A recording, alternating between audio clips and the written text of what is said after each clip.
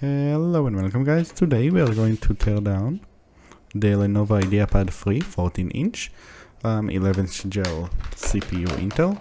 Um, we are going to start by removing the 9 screws on the back as you can see here. Cool, and then we are going to insert a peak. I like to start it from the top corner right over there. Insert a very thin peak and then insert a thicker one once you got an opening and just take it around the outside and remove all of the clips that is still holding the back plastic in place.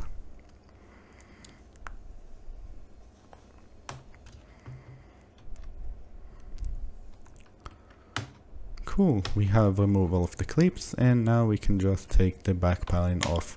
Here we can see we have access to our SSD, RAM and Wi-Fi card which are all very easy to take out. The RAM does have a shield on it, a metal shield, probably to remove interruptions, but it is very hard to remove. I was able to get a peek inside and take it out. As you can see, all you need to remove to do is remove the latches from the side and the card can just slide in. It does have a specific way it can go in, so you can't really mess it up. Just push down and the latches will catch onto it and put the shield back in place. Now which we'll do is the SSD which is the more important. For that we need to remove the screws as you saw I just did and the SSD will lift up which will allow you to just take it out. Do notice that you'll need to take the thermal pad off your old SSD and put it on your new SSD.